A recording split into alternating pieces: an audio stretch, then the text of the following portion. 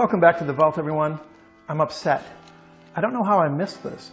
There's so much magic coming out. I'm trying to keep up. Uh, this came out a few years ago, and it's incredible. I think it was 2017. I looked at the date. Somehow it flew right by me.